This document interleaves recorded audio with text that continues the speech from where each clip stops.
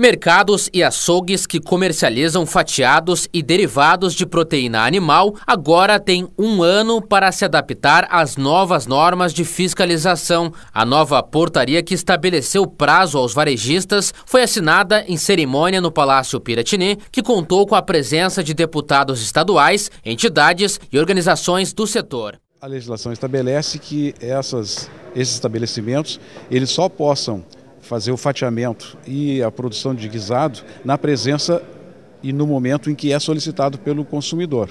Ele não pode fazer isso e deixar depositado, nem carne moída e nem os produtos fatiados. Bem, o que, eh, por quê? Eles precisam ter é, uma autorização, ter uma sala específica para manipulação desses, desses itens, né?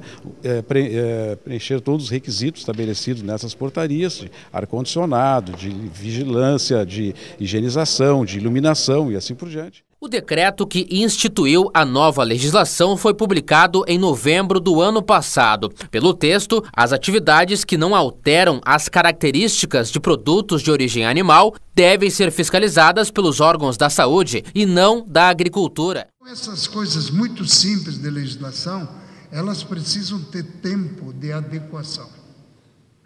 E nós tivemos uma boa discussão, um bom debate com os deputados, com todo mundo e fizemos a nossa caminhada no sentido, vamos dizer, de estabelecer o tempo que é necessário. E a tolerância não significa que a tolerância tem que ser executada lá no último dia do primeiro ano. E começar a se preparar agora, começar a fazer agora e se adaptar para oferecer as condições que são necessárias. Então, para nós, a humildade e a sensibilidade, ela foi na direção, vamos dizer, para que seja a favor da própria população.